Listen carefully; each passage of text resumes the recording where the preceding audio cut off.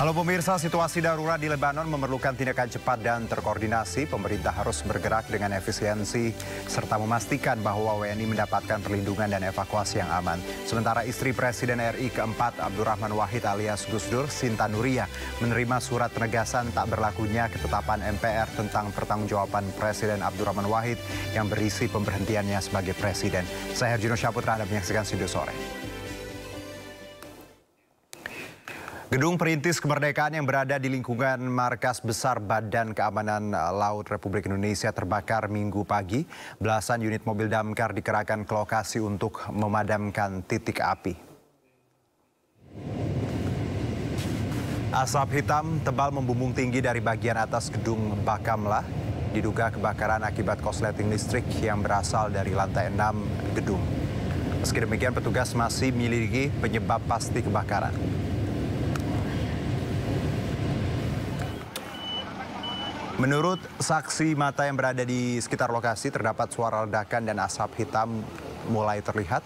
Kepala Dinas Gulkarmat DKI Jakarta, Satriadi Gunawan menyebutkan pihaknya menerima informasi kebakaran pukul 6.20 waktu Indonesia Barat. Sebanyak 19 unit mobil damkar dikerahkan ke lokasi untuk memadamkan api yang membakar gedung perintis kemerdekaan. Saya langsung mendekat ke uh, lokasi kebakaran. Saya sempat mengambil gambar. Memang saya waktu itu juga dengar ada ledakan-ledakan, beberapa ledakan. Terus mulai awal asap hitam mengepul itu, selanjutnya ada kobaran api yang kelihatan. Nah, dari kobaran api itu ada turun barang jatuh. Nah, pada saat jatuh itu di bawah, di lantai bawah yang kejatuhan barang itu juga langsung menyala apinya.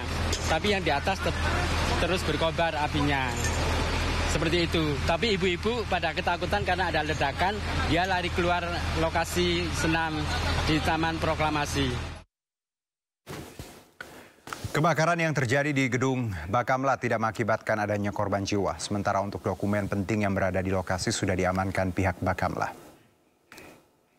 Saat ini juga terus dengan bersama Kabakamla untuk dokumen-dokumen penting ya, barang-barang penting juga semua sudah diamankan sehingga kami juga nanti selesai ini akan dilakukan pemeriksaan ulang oleh pihak dari Bakamlah.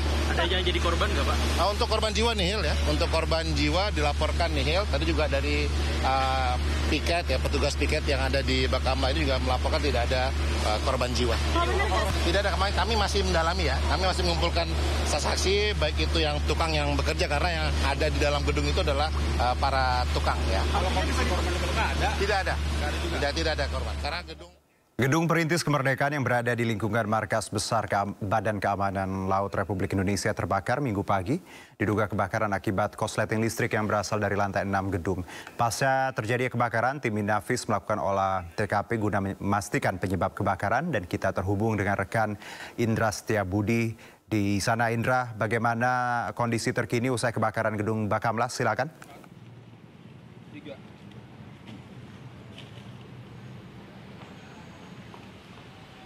Indra. Ya selamat sore Juno dan juga pemirsa. Dapat kami kabarkan secara langsung di Gedung Perintis Kemerdekaan Jakarta Pusat yang mana merupakan masuk area dari Bakamla RI Jakarta yang mana uh, situasi terkini Juno dan juga pemirsa sudah sangat kondusif. Namun bisa saksikan sudah ada garis polisi yang melintang di area Bakamla ini. Dan juga di sana juga ada salah satu uh, unit pemadam kebakaran yang masih standby di area Bakamla ini.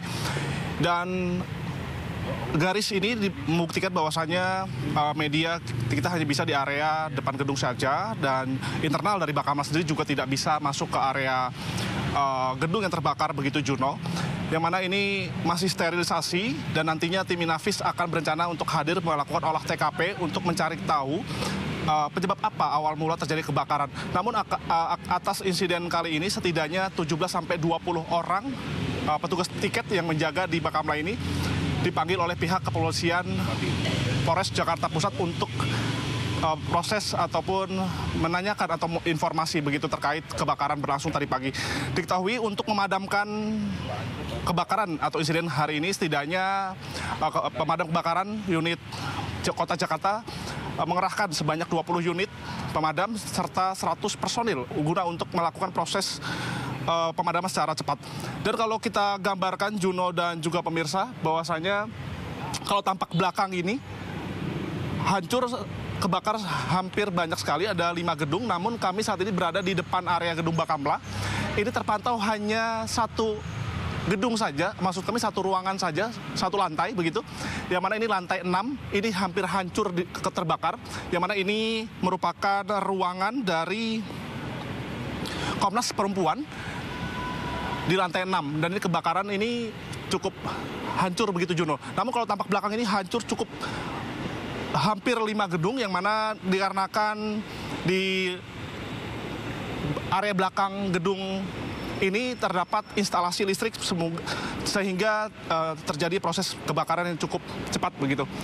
Hingga saat ini kami masih menunggu tim Inafis dari kepolisian dan juga kami juga mencari tahu terhadap ke-17 para uh, penjaga atau piket ini yang sedang dilakukan proses interogasi untuk mencari informasi. Nanti kita akan kabarkan kembali update terbaru terkait kenapa ataupun sebab terbakar uh, gedung proklamasi ini atau Bakamla pada hari ini. Juno.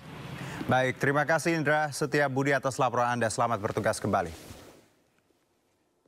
Aktor Andrew Andika Fisher ditangkap eh, personel reserse narkoba Polres Metro Jakarta Barat terkait penyalahgunaan narkotika. Andrew ditangkap bersama lima temannya di dua tempat berbeda di kawasan Bogor dan Jakarta Selatan Kamis malam.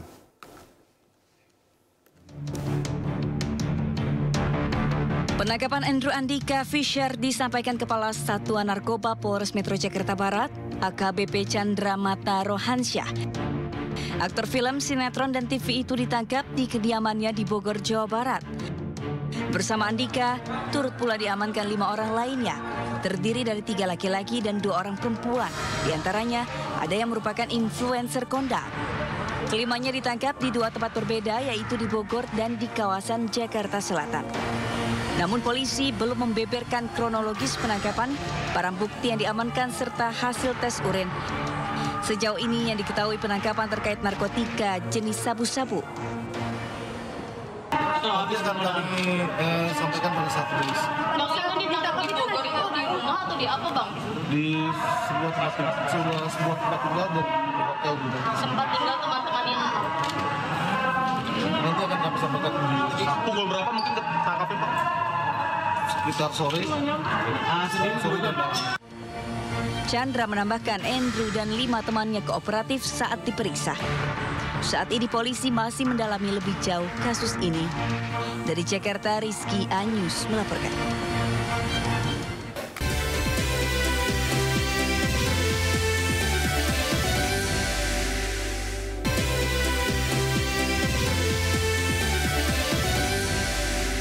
Ya baik pemirsa, gempuran demi gempuran Israel ke Libanon dengan dali menyasar target-target milisi Hizbullah telah memberikan dampak buruk bagi warga sipil negara tersebut. Bahkan pemimpin Hizbullah Hasan Nasrallah dinyatakan tewas dalam serangan terbaru. Lalu bagaimanakah nasib WNI di Lebanon dan apa strategi dan evaluasinya untuk membahas ini?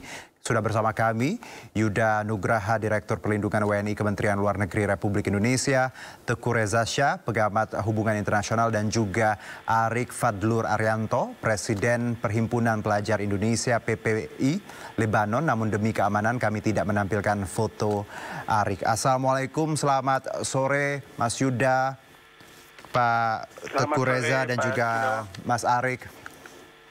Ya, terima kasih. Ya, sudah bergabung bersama kami di Sindo Sore dengan saya Herjuno. Saya ke Mas Yuda terlebih dahulu. Mas Yuda untuk update WNI sendiri kita tahu masih ada sejumlah WNI dan memang uh, saat ini kondisinya disebutkan aman. Tapi ada update terbaru bagaimana kondisi WNI Mas Yuda di Lebanon? Ya. Mm -hmm dapat kami update Mas Juno bahwa KBRI Beirut uh, terus menjalin komunikasi dengan warga negara kita yang ada di Lebanon. Mhm. Kita sudah memiliki WhatsApp group bersama untuk saling memantau dan memonitor mhm. warga negara kita yang ada di sana. Hingga saat ini jumlah warga negara kita yang tercatat berada di Lebanon sebanyak 159 WNI. Dan uh, alhamdulillah kondisi mereka saat ini uh, selamat. Sebelumnya kami juga telah uh, melakukan proses evakuasi untuk 25 warga negara Indonesia sejak KBRI Beirut menetapkan status siaga satu pada tanggal 4 Agustus yang lalu. Uh, 25 tersebut sudah tiba di Indonesia dan saat ini uh, kami juga mencatat ada lima warga negara Indonesia yang lainnya yang meminta untuk dievakuasi yang saat ini juga sedang kita upayakan. Sedangkan sisanya uh, atas pilihan pribadi memang memilih untuk tetap tinggal di Lebanon. Oke, baik. Mas Yuda, kalau yang pilihan pribadi untuk tetap tinggal, karena kan tadi ada 159 dan 25 sudah dievakuasi. Ini alasannya apa? Karena memang uh, menikah dengan warga lokal atau ada alasan tertentu? Ya, mayoritas memang hmm. adalah warga negara kita yang uh, menikah dengan warga Baik. negara lokal dan hmm. mereka tidak ingin terpisah dengan keluarganya. Dan juga ada mahasiswa kita yang ada di sana, hmm. uh, kampus di sana belum menetapkan status darurat. Ya, sehingga mereka takut kalau meninggalkan uh, kampus hmm. nanti dianggap uh, tidak melanjutkan kuliah seperti itu. Oke, baik. Saya langsung ke Mas Arik ya, Presiden PPI Lebanon. Mas Arik, selamat sore waktu Jakarta. Selamat siang waktu Beirut, Mas. Ya, uh, kalau kita bicara kondisi pelajar sendiri yang saya baca juga memang sejak Selasa ini kampus sekolah semua ditutup, diliburkan dan ya otomatis bahwa keadaan uh, belajar mengajar sudah tidak tidak memungkinkan dilakukan. Apakah benar seperti demikian, Mas Arik? Uh, betul mas. Mm -hmm. uh, jadi sejak serangan uh, hebat kemarin uh, hari Senin, uh, apa namanya Kementerian Pendidikan menyerukan semua kampus-kampus untuk libur. Mm -hmm. Jadi itu memang kebijakan dari pemerintah sendiri dan uh, semua kampus sekolah kampus sekolah SD itu yang negeri mm -hmm. uh, itu dipergunakan dialihfungsikan untuk penampungan sementara masyarakat uh, yang berada di wilayah selatan. Oke. Okay. Untuk jadi, untuk apa namanya? Hmm. Uh, untuk pendidikannya memang untuk saat ini memang jadi diliburkan. Jadi hmm. belum bisa kondusif lagi. Belum bisa kondusif seperti itu. Untuk uh, eh, PPI sendiri bahwa ada berapa datanya jumlah pelajar yang saat ini masih ada di uh, Lebanon? Mas Arik. Untuk saat ini hmm. mahasiswa sendiri uh, yang masih berada di Lebanon ada 46 mahasiswa termasuk saya sendiri. Hmm. Alasan untuk tidak pulang Mas Arik saat ini, apakah memang kesulitan akses atau ada hal lain yang membuat teman-teman tadi kalau Mas sudah menyebutkan bahwa uh, karena perkuliahan pun juga sebenarnya walaupun diliburkan tapi belum tentu di um, nanti ya ke depannya akan tetap seperti ini bisa saja masuk. Tapi kalau dari teman-teman pelajar sendiri apa alasan mereka bertahan atau ada hal-hal tertentu yang jadi pertimbangan Mas Arik? Uh, beberapa mahasiswa mm-hmm. khususnya yang uh, universitasnya berada di utara Lebanon mm-hmm. itu memang sangat aman dan sangat jauh dari hiruk pikuk uh, konflik seperti ini.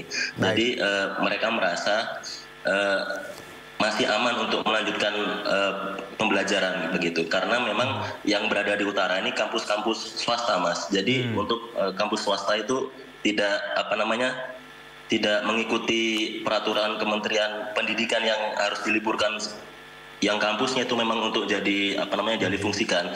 Jadi kalau misalnya kampus di utara itu yang kampus swasta itu masih ada masih dilanjutkan proses uh, belajar mengajar seperti itu. Oke, jadi kalau wilayah utara ini agak kondusif seperti itu ya, Mas Arik ya? Betul. Tapi kan saya saya dengar juga bahwa eksodus masyarakat ke utara juga tinggi beberapa hari terakhir. Iya betul itu saat hmm. uh, di hari-hari pertama saja setelah adanya ledakan itu. Hmm. Berarti de dengan kata lain bahwa sebenarnya untuk ya kalau Beirut sendiri memang kurang kondusif tapi utara masih bisa dilaksu, uh, dilaksanakan proses belajar mengajar ya Mas Arik ya. Betul Mas. Oke, saya ke Mas Teguh Reza Syah ini pengamat luar negeri kita. Mas Teguh, Assalamualaikum. Waalaikumsalam, salam dari Bandung. Ya, salam dari Jakarta. Mas Teguh, bicara mengenai um, tindakan Israel ini, mereka nampak sangat percaya diri ya. Saya tahu bahwa bagaimana serangan pager kemarin merubah dinamika yang ada di Timur Tengah dan ini pun eskalasinya sampai hari ini serangan terus dilakukan dan uh, dilaporkan juga pemimpin Hizbullah tewas. Bagaimana Anda melihat konflik ini? Akankah beberapa hari ke depan akan ada sedikit uh, tensi yang turun atau deskalasi seperti itu? Kalau dari sudut pandang Anda? Uh, dalam pandangan saya, Israel hmm. sedang memelihara momentum ya. Baik. Berarti momentum terbaiknya adalah kalau Donald Trump terpilih, di mana aksi-aksi uh, Israel akan semakin sistematis. Namun saat ini saya perhatikan hmm. perbatasan uh, Lebanon itu sangat rawan ya. Uh, perbatasan dengan Suriah di utara dan timur dan juga terutama sekali di uh, di selatan dengan Israel ya. Okay. Dan kalau saya monitor uh, headline headlines dunia, itu itu kesannya adalah perang ini akan terus berlanjut. Hmm. Di mana kalau kita lihat dari NBC News itu mengatakan Netanyahu itu mengatakan pembunuhan Nasrullah itu adalah kunci untuk memulihkan kembali keseimbangan dan juga membebaskan tawanan-tawanan Israel. Jadi patut diduga Israel uh, memiliki data intelijen di mana tawanan-tawanan itu dipindahkan dari Gaza itu ke wilayah Lebanon. Mm -hmm. Kemudian juga BBC juga sama kerasnya dikatakan bahwa serangan-serangan Israel akan terus berlanjut dan kemudian Iran akan siap-siap untuk uh, aksi balas Kemudian di uh, Al Jazeera sendiri itu mengatakan bahwa masyarakat itu sudah bergerak ke Syria karena takut akan serangan Israel. Ini ini sangat mungkin Israel mungkin menyerang dari perbatasannya dan hmm. pada saat yang sama Israel itu dengan Lebanon itu memiliki perbatasan uh, yang dipersengketa yeah. yang dipersengketakan yakni perbatasan maritim dan juga uh, perbatasan teritorial terutama sekali di daerah Kana dan Karish yang mm -hmm. terutama sekali di Karish memiliki memiliki uh, gas. Jadi saya saya duga selain serangan udara, maka Israel akan kembali melakukan uh, serangan darat. Dan untuk itu saya sangat berharap uh, pemerintah Indonesia benar-benar melindungi. Walaupun saya akui dalam hal kondisi seperti sekarang, pemerintah itu Indonesia benar benar menunjukkan tanggung jawabnya mm -hmm. konstitusional untuk melindungi segenap bangsa Indonesia dan tumpah darah Indonesia di luar negeri itu adalah warga negara Indonesia. Mm -hmm. Namun dalam uh, menurut hemat saya itu koordinasi sebagaimana dikatakan oleh kawan-kawan kita tadi mm -hmm. eh, itu sudah berjalan kita sudah okay. mendata eh, 159 dan 46 maka tentunya koordinasi ini harus dilanjutkan terus menerus kalau pilihannya uh, evakuasi pulang apakah itu pilihan terbaik atau sebenarnya bisa menunggu karena beberapa WNI juga punya alasan untuk tidak pulang ke tanah air Uh, saya pikir pemerintah Indonesia memiliki analisis intelijen ya, mm-hmm. yang, mm-hmm. yang yang yang yang lebih baik daripada saya ya. Mm-hmm. Tentunya mereka sudah memiliki koordinasi ya. Kalau misalnya belum dipulangkan, itu akan dibawa ke mana itu? Akan disimpan di mana orang-orang kita itu? Mm-hmm. Dan di situlah pentingnya uh, kita men, uh, uh, perwakilan Indonesia memiliki hubungan yang sangat baik dengan uh, dengan kota-kota Beirut, Tripoli, Sidon, mm-hmm. Baalbek, Tire, Nabatiyeh, Jonie, Alay, Zahle, Zigarta, Ehden, Biblos dan juga Batron. Mm-hmm. Dan untuk itu juga pemerintah kita hendaknya mendata universitas-universitas itu seberapa seberapa kritisnya nasib okay. mahasiswa kita. Karena tidak mustahil mereka bisa uh, kuliah dari luar Lebanon. Jadi hal-hal ini yang harus di, didalami. Baik Mas Teguh, saya kembali ke Mas Yuda. Mas Yuda, kalau kita bicara keamanan, tentunya ada skenario yang selalu dipersiapkan oleh Kemenlu sendiri mengingat eskalasi yang cukup intens di Lebanon dan Timur Tengah sejauh ini Mas, saya dengar juga KBRI Beirut sudah sudah menjadi shelter ya. Akankah ada skenario tertentu yang di mana mungkin negara-negara di sekitar Lebanon menjadi titik-titik untuk penjemputan atau evakuasi? Iya, hmm. uh, benar Mas Juno. Jadi sebetulnya sejak hmm. tanggal 4 Agustus yang lalu, KBRI Beirut telah menetapkan status siaga satu untuk seluruh Lebanon. Dan sebelumnya kita sudah menetapkan status siaga satu untuk Lebanon Selatan sejak Oktober tahun lalu ketika pecah perang di Gaza. Mm-hmm. Jadi dengan peningkatan status ini sebetulnya kami uh, menghimbau, sangat menghimbau mm-hmm. kepada warga negara Indonesia untuk dapat segera meninggalkan Lebanon. Mm-hmm. Karena situasi ke depan kita pandang membahayakan keselamatan warga negara kita. Namun kami tentu paham eh, masing-masing uh, individu memiliki pertimbangan khusus. Nah, bagi warga negara kita yang memang uh, tidak ingin uh, dievakuasi keluar Lebanon, mm -hmm. kami sangat menghimbau agar bisa uh, datang ke KBRI mm -hmm. untuk berlindung di shelter. Saat ini sudah ada 33 warga negara kita yang berlindung di shelter KBRI. Jadi untuk saat ini KBRI adalah tempat terbaik ya, shelter kalaupun tidak ingin terburu-buru pulang seperti itu ya Mas Yuda ya. Ya, Oke. Okay. Namun tentunya sekali lagi hmm. kita kan tidak bisa memperkirakan situasi ya. ke depan. Hmm. Namun kita perlu mengantisipasi kemungkinan terburuk. Okay. Kalau te situasi perang terbuka akan melebar seperti tahun 2006 yang lalu, hmm. maka kemungkinan Bandara Rafiq Hariri yang ada di Beirut juga akan menjadi sasaran. Yeah. Nah, kalau itu diserang, maka opsi evakuasi jalur udara mm-hmm. akan tertutup. Dan ini akan membuat situasi menjadi lebih kompleks. Baik, dan ini sebenarnya penerbangan sudah beberapa kali terdampak. Saya dengar ada 30 penerbangan yang dari eh, ke Beirut juga dibatalkan dalam sehari ya, Mas Yuda ya? Betul. Okay. Saat ini terpantau Ah. masih ada satu penerbangan Mhm. eh, Middle East Airlines masih Mhm. beroperasi, namun sudah sangat fully book ya karena Oke. orang sudah pada takut untuk keluar. Baik, saya kembali ke uh, Mas Arik. Mas Arik, kalau Anda tadi menyebutkan bahwa beberapa mahasiswa masih bertahan karena wilayahnya juga cukup jauh yaitu di utara. Tapi melihat kondisi seperti ini Mas Arik, uh, adakah pertimbangan atau himbauan sendiri dari PPI untuk uh, mahasiswa di Lebanon? Apakah mereka harus tadi uh, mengikuti perintah untuk segera evakuasi paling tidak ke shelter atau ada hal lain Mas Arik? Eh, betul untuk pertimbangan setelah apa namanya kejadian yang baru-baru ini eh, kami dari PPI sendiri menghimbau seluruh eh, WNI khususnya mahasiswa untuk berlindung di shelter KBRI Beirut. Oke.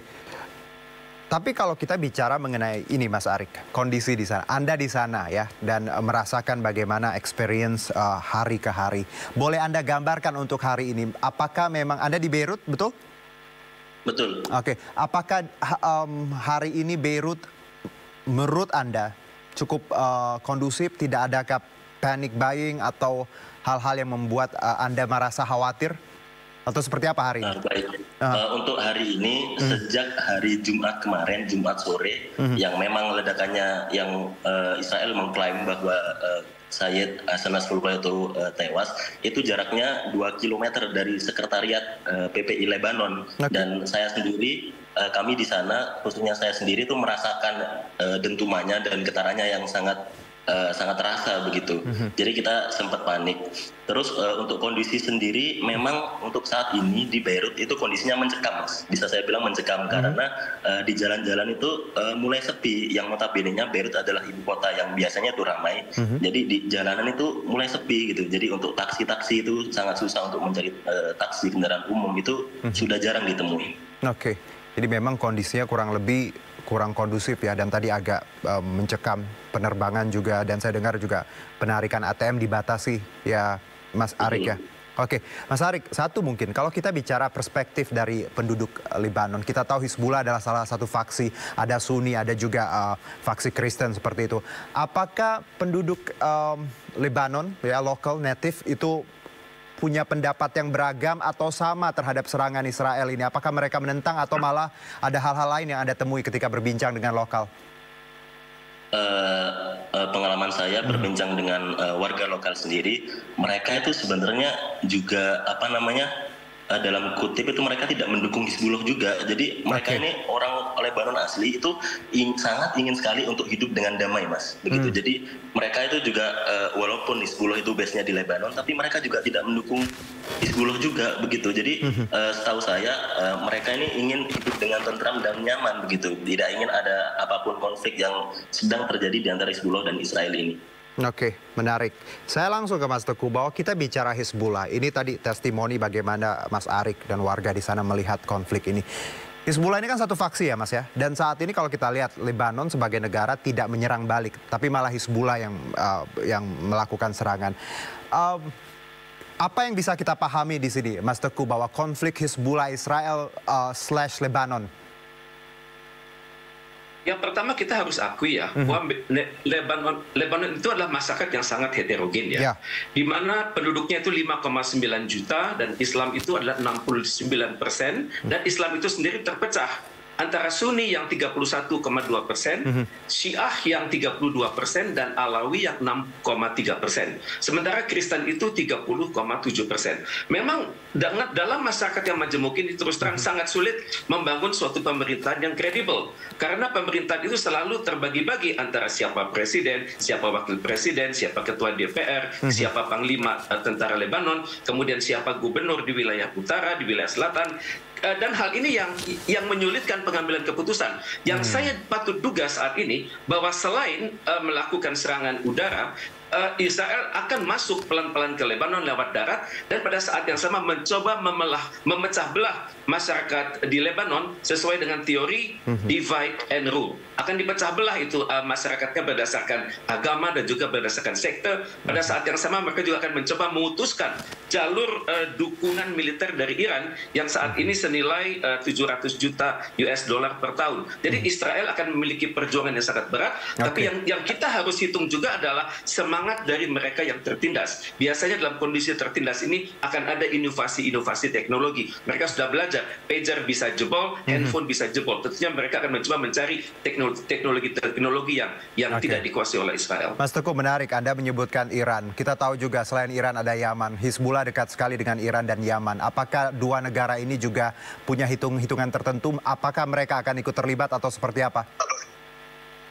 Ya, kalau saya menempatkan diri sebagai pemikir Iran ya, Mhm. Iran terus akan membangun kesepahaman dengan 22 negara Arab yang ada di Timur Tengah dan Afrika Utara.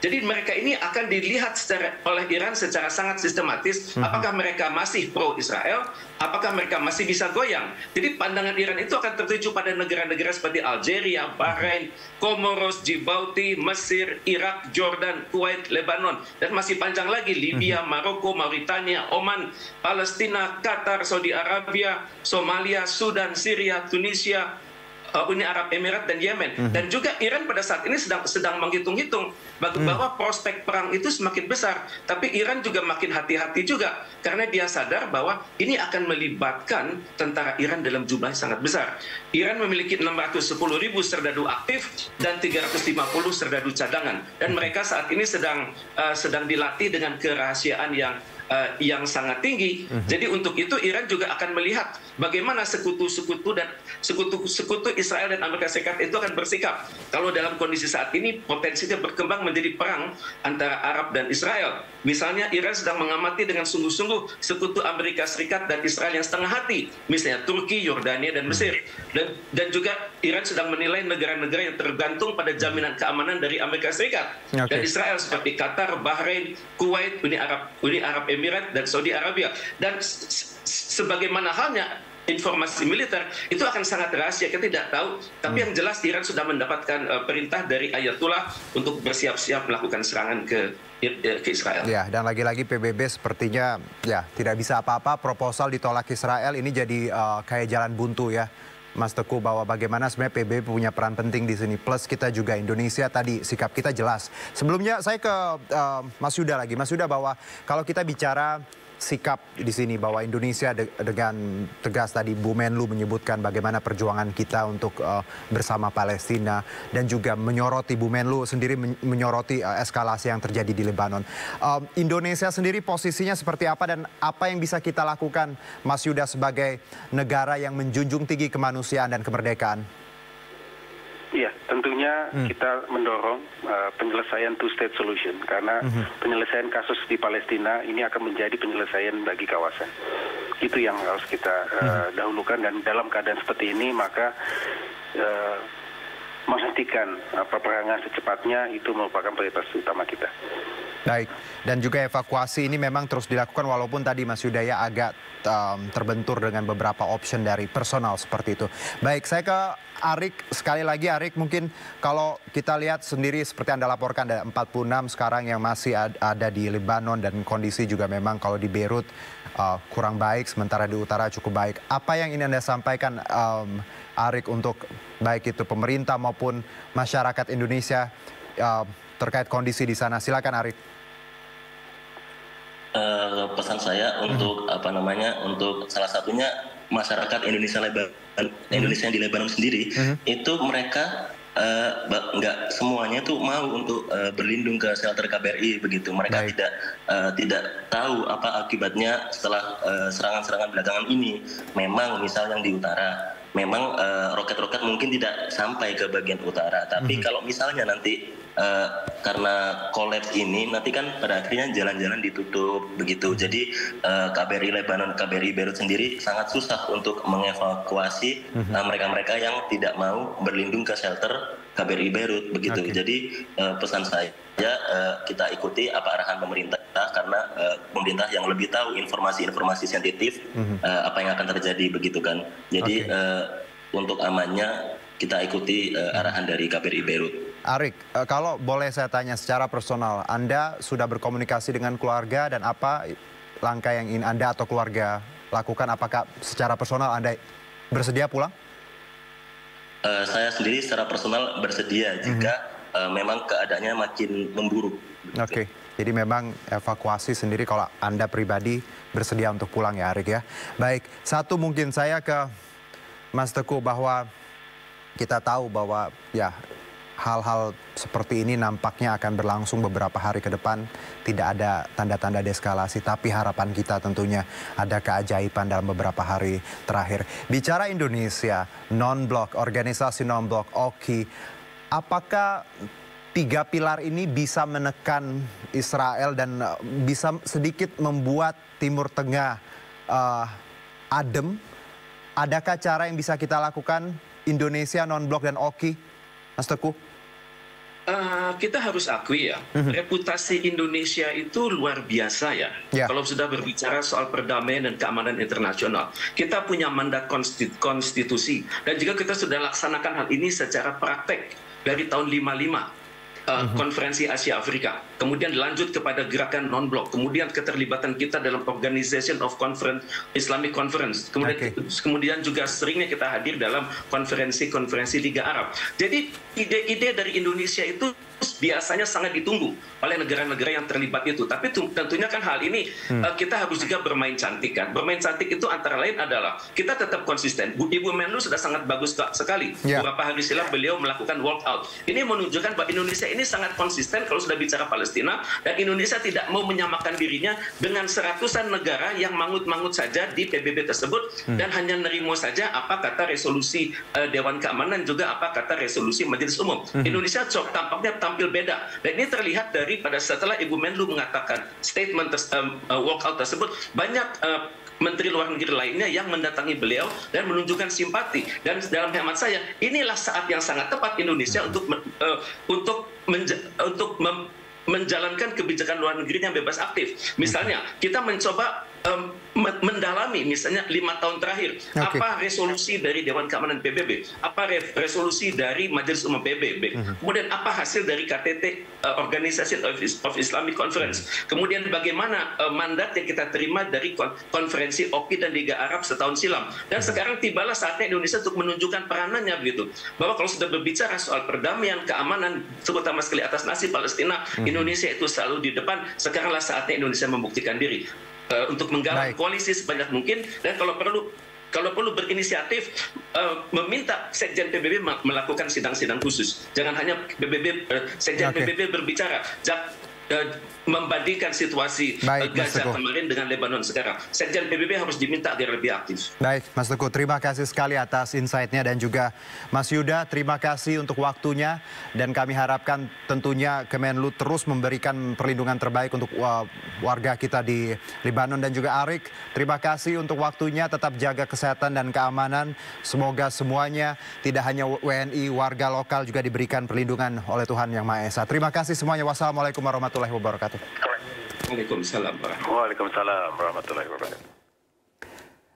Ya, pemirsa di tengah semakin meningkatnya ketegangan situasi Timur Tengah akibat serangan intensif antara Lebanon dan Israel, sejumlah lembaga kemanusiaan Indonesia dan lembaga kemanusiaan internasional tetap mengirimkan bantuan ke Gaza, Palestina. Assalamualaikum warahmatullahi wabarakatuh Sahabat-sahabat kebaikan di Indonesia Alhamdulillah hari ini kita akan kirim kembali uh, bantuan untuk saudara-saudara kita ke Gaza Palestina berupa paket bahan pangan uh, sebanyak 1.536 paket bahan pangan kita kirim dengan truk-truk kontainer. Semoga ini memberikan manfaat kepada saudara-saudara kita di Gaza Palestina dan dukung terus Gaza Palestina sampai merdeka. Barakallahu fikum. Wassalamualaikum warahmatullahi wabarakatuh.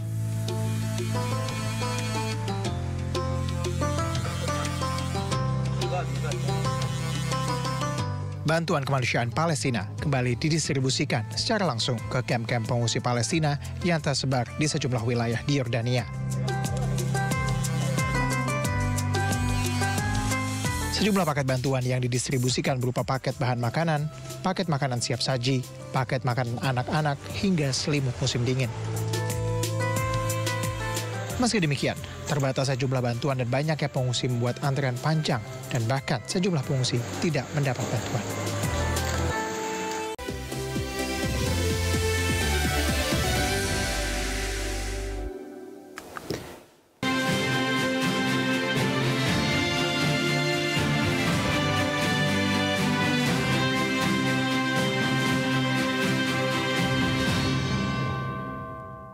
Pemirsa calon gubernur Jakarta nomor urut 1 Ridwan Kamil bertemu dan duduk satu panggung dengan dua cagup lainnya di Pilgub Jakarta yakni Pramono Anung dan Dharma Pongrekun dalam sebuah acara di Indonesia Arena GBK Jakarta.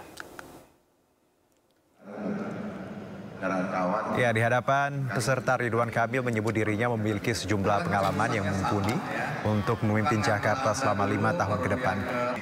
RK memaparkan program unggulannya untuk meningkatkan kualitas layanan kesehatan di Jakarta melalui digitalisasi, peningkatan uh, fasilitas serta program untuk mewujudkan masyarakat lebih sehat dan berdaya. Menjaga kesehatan mental dan jiwa masyarakat dengan program mobil curhat, akses ke psikolog gratis dengan BPJS di rumah sakit maupun di puskesmas. Kalau mau jujur sudah dua kali seperti ini ya. Jadi uh, hanya beda momen, beda panitia, beda panggung. Isinya sama lah. Ingin membedah isi kepala. Jadi anggap aja latihan ya. Makanya mungkin cuma saya doang yang berpantun ya tadi ya. Jadi ingin riang gembira tapi ada isinya, ada substansinya. Saya kombinasi antara hal ringan dengan hal substantif gitu. Ya, pasangan calon gubernur dan wakil gubernur Jakarta nomor urut 1 Ridwan Kamil Suswono menghadiri dialog bersama Forum Purna Pejabat Pemda DKI. Ridwan Kamil ingin para pensiunan pegawai ini turut serta membangun Jakarta dengan kemampuan serta pengalaman yang dimiliki.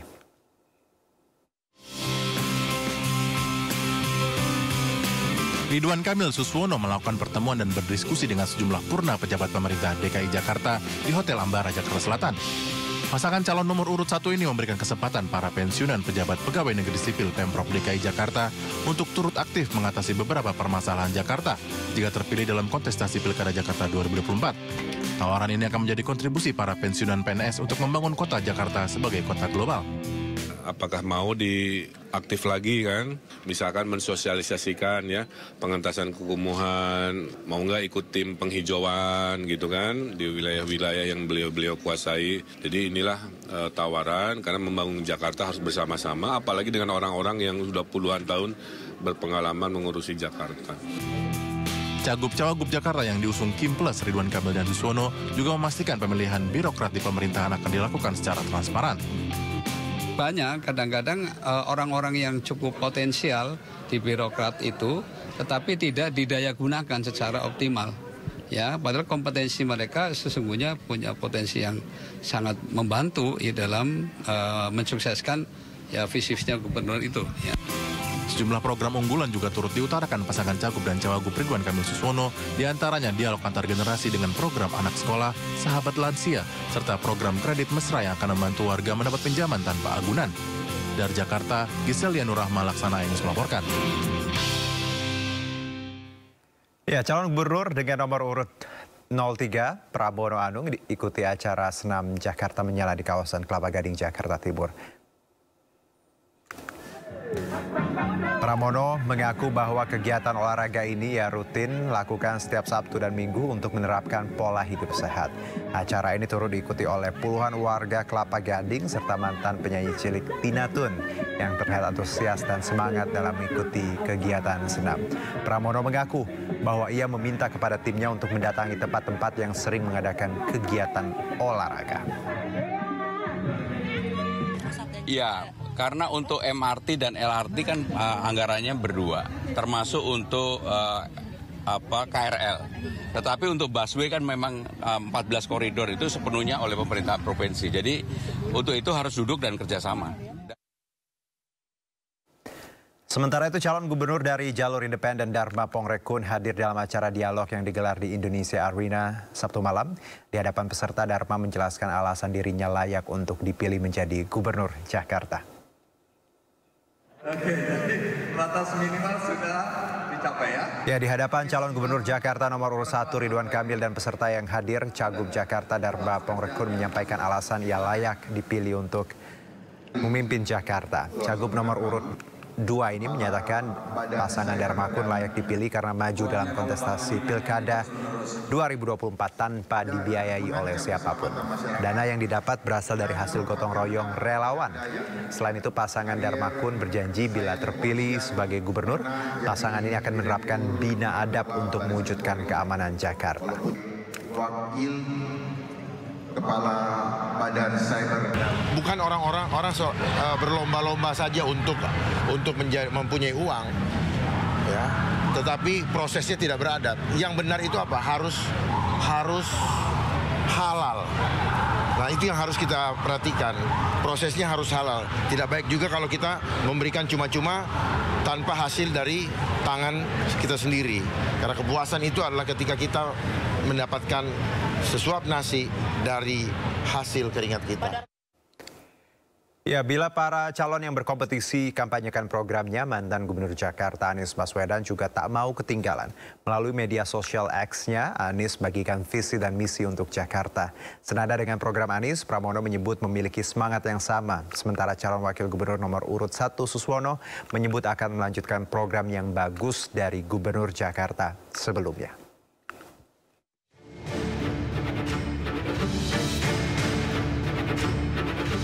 Gubernur DKI Jakarta periode 2017-2022 Anies Baswedan mengunggah laman visi misi dan program kerja yang sempat disusun untuk direncanakan menuju Pilgub Jakarta 2024.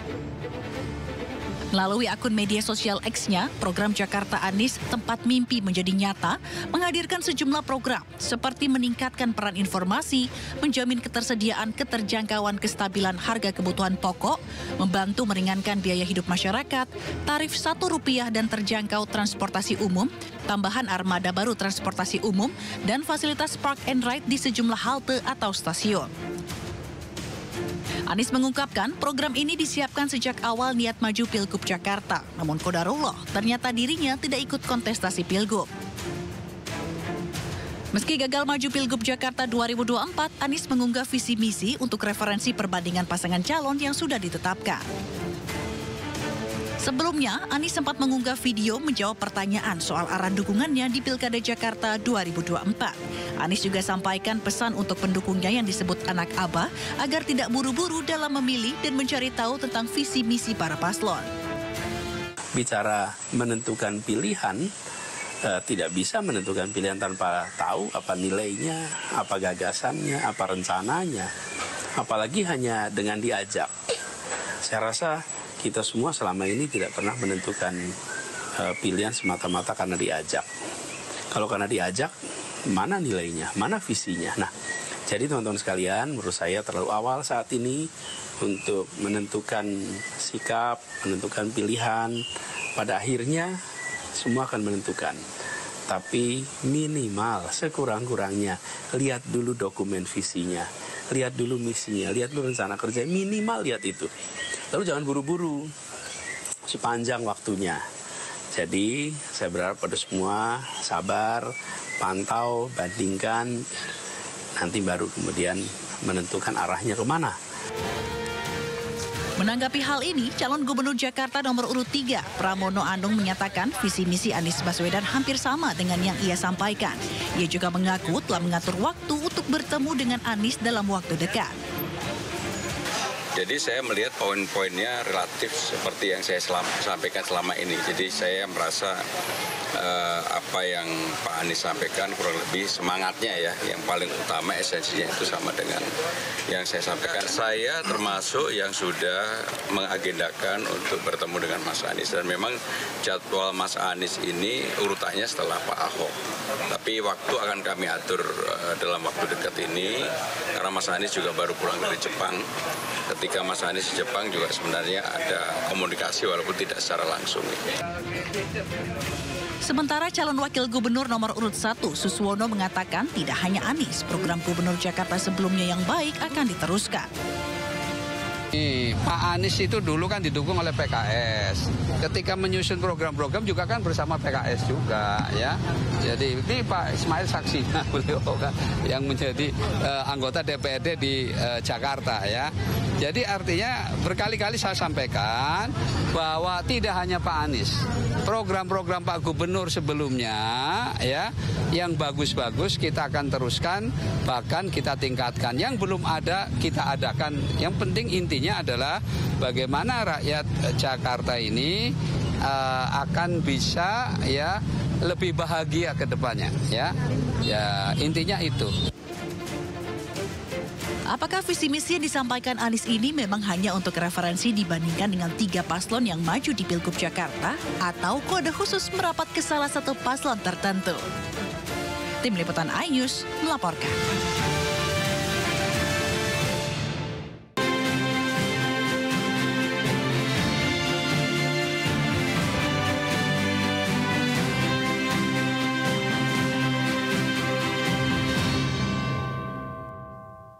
Kita beralih ke informasi berikutnya. Pemirsa istri Presiden RI keempat Abdurrahman Wahid alias Gusdur, Sinta Nuria, menerima surat penegasan tak berlakunya ketetapan MPR nomor 2 garis miring MPR garis miring 2001 tentang pertanggungjawaban Presiden Abdurrahman Wahid yang berisi pemberhentian sebagai Presiden.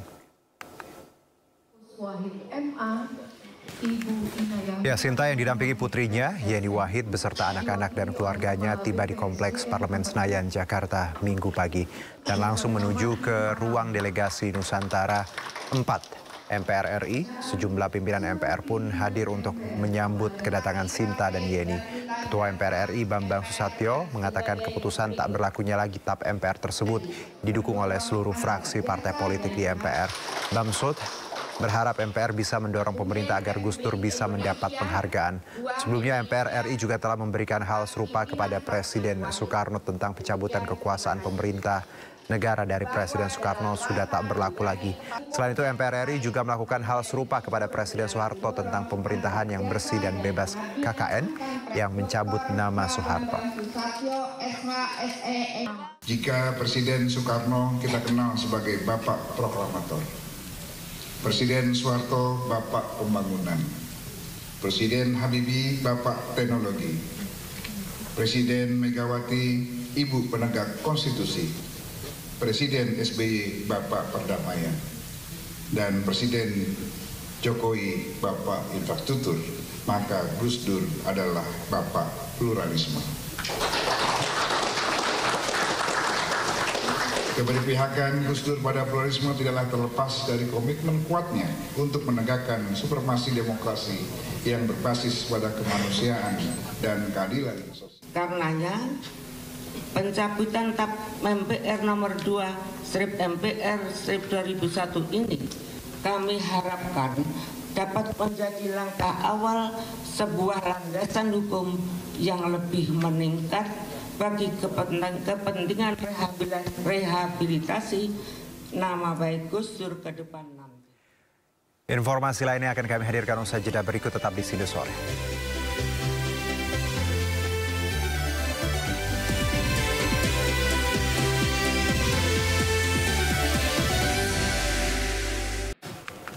Ya, bagi Anda yang suka dengan wisata alam bisa mengunjungi salah satu lokasi wisata unik di Kabupaten Bener Meriah, Provinsi Aceh. Selain merasakan sensasi sejuknya alam khas dataran tinggi, pengunjung juga bisa menginap sambil bermain di aliran sungai yang sangat jernih.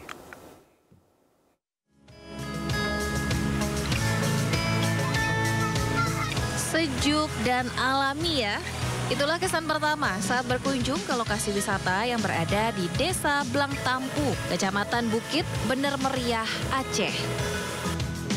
Destinasi agrowisata ini menawarkan sensasi suhu dingin khas dataran tinggi dan panorama alam yang mempesona.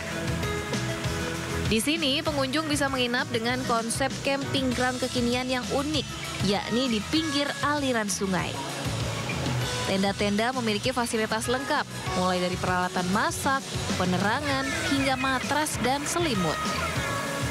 Meskipun berada di tepi sungai, pengunjung tidak perlu khawatir akan bahaya banjir karena debit air sungai di lokasi ini cukup stabil, bahkan cocok untuk pemandian anak-anak hingga orang dewasa. Jadi sungainya bisa dijadikan tempat bermain anak-anak, terus lokasinya luas, jadi nggak perlu takut karena juga sungainya nggak terlalu dalam untuk anak-anak. Lokasi wisata ini awalnya digunakan untuk menanam pohon-pohon endemik untuk kelestarian hutan, kemudian berkembang menjadi lokasi wisata. Jika Anda berkunjung ke sini akan dikenakan tiket masuk Rp5.000 per orang. Lokasi camping ini memberikan pengalaman yang tak terlupakan bagi para pengunjungnya. Dari Kabupaten Bener Meriah, Aceh, Yusradi, Ainews melaporkan. Ya, dan kali ini kami akan ajak Anda melihat keindahan air terjun yang sering disebut sebagai Niagaranya Indonesia, berlokasi di Lumajang, Jawa Timur. Air terjun ini membentang bak tirai air raksasa yang sangat mempesona. Dan berikut liputannya.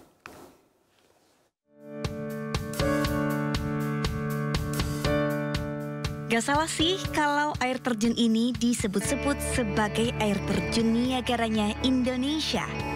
Karena secantik ini. Namanya air terjun Tumpak Sewu atau Grojogan Sewu. Lokasinya ada di Desa Sidomulyo, Kecamatan Pronojiwo, Kabupaten Lumajang, Jawa Timur. Sesuai namanya, Tumpak Sewu atau Grojogan Sewu seolah memiliki seribu mata air yang membentang bak tirai air raksasa. Keindahan Grojogan Sewu tak hanya terletak pada keanggunan air terjunnya saja, namun juga suasana alam yang menyelimutinya. Hutan hijau yang masih lebat serta gemuruh air yang jatuh ke dasar lembah menciptakan harmoni yang sempurna. Jika beruntung, pengunjung dapat menyaksikan keindahan warna-warni pelangi yang membelah air terjun. Bagi pengunjung yang hobi bersuah foto tak perlu khawatir karena setiap sudut panorama Grojogan Sewu ini menyajikan pemandangan yang mempesona berlatar kemegahan air terjun dekat pemandangannya daripada di tempat sewu. Kalau panorama menurut saya ini paling bagus dari Grojogan Sewu ini mantap. Grojogan Sewu keren sekali pemandangannya. Sudah bisa melihat ada pelangi.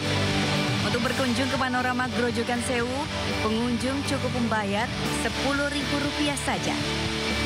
Tapi kalau mau ke dasar, pastikan tubuh dalam kondisi prima ya, karena treknya cukup panjang dan ekstrim. Nah, ini dia pemandangan air terjun kalau dilihat dari bawah. Dari Lumajang, Jawa Timur, Yaya Nugroho, A-News melaporkan.